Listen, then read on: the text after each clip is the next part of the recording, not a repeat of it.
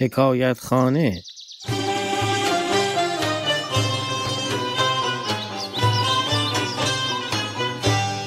حکایاتی از بهارستان اثر عبدالرحمن جامی.